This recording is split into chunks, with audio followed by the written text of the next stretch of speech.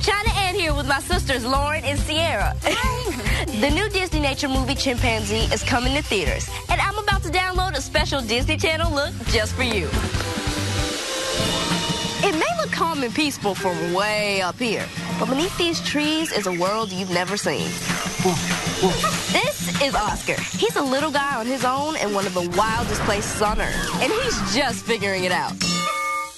Oh, A chip's gotta eat, and honey is a nice treat, but it's a good idea to check for bees first. Ouch! That's gotta sting. Oscar needs someone to show him the ropes. Or, um. That's where Freddy comes in.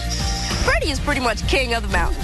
Everyone respects him, but he's not exactly friendly to new faces. But don't let that tough guy act fool you. When Freddy sees Oscar is all alone, he reaches out and starts to raise him as if he were his own. Freddy will teach Oscar everything he needs to know to be a leader himself.